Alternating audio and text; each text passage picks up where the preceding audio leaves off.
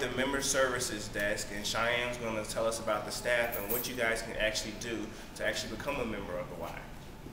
So this is Patty right here, and this is Jim.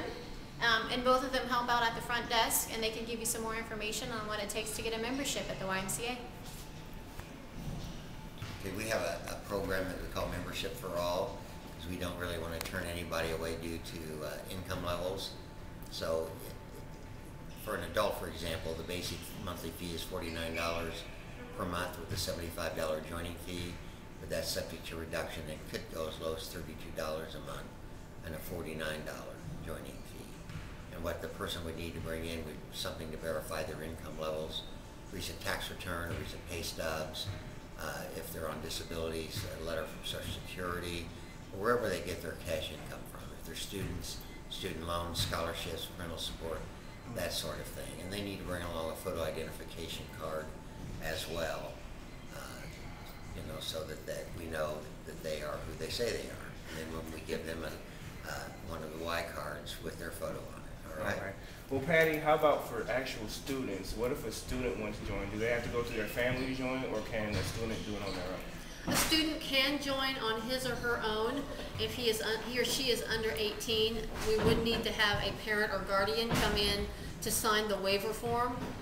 Any, uh, anyone who is uh, 19 or older would be considered an adult and would uh, fall under the adult rates that Jim here just mentioned. Anyone who is under 19 would qualify for youth rates, and again, that is subject to reduction based on total household income. And total household income, in this case, would include their parents' income if they are living at home, and would include roommates' income if they are living in an apartment, say, with another roommate or two or three roommates. All right, and actually this works. Actually, Patty helped me join. I became a member of the Y back in January. So you get a nice little cool card to go with the rest of your little grocery discount cards. And you just come in and can you scan me real quick? Sure. You just come in, they'll scan you, and you can go on. There's all types. What type of facilities around the city of the Y? What type of facilities do you guys have to offer? Well, at this particular branch, we have the uh, workout areas, the locker rooms, the classes, and of course, the dry heat sauna.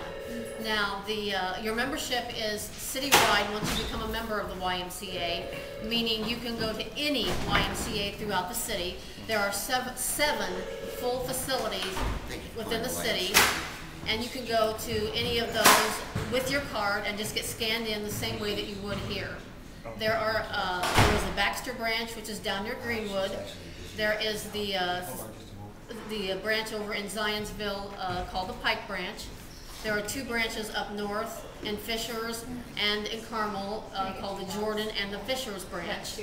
There's the Urban Mission branch, which is over, uh, just about a block from us, over on the, uh, in the English Foundation building on the fourth floor.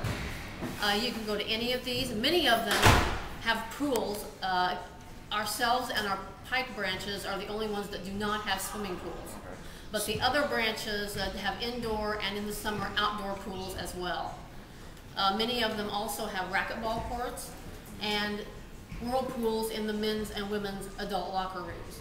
Now, the adult locker rooms are for ages 19 and over.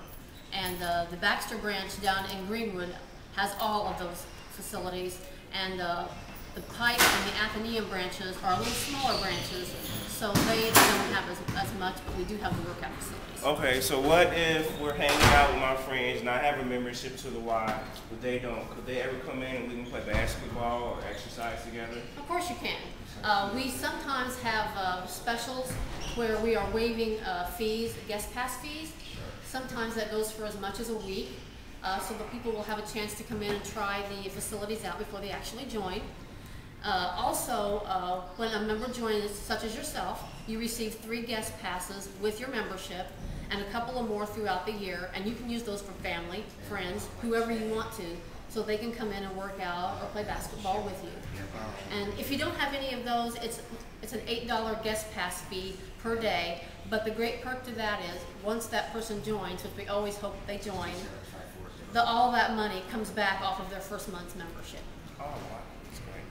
All right, so as you guys can see, there's really no excuse for you not to be in shape here in Indianapolis. You have the Y with many locations. Cheyenne here is giving us some helpful advice on what we need to do that we can do in and out the gym. So I want to thank you, Cheyenne, Thanks for and coming. Jim, and Patty for helping thank us. you. Thank you. And we'll see you guys later.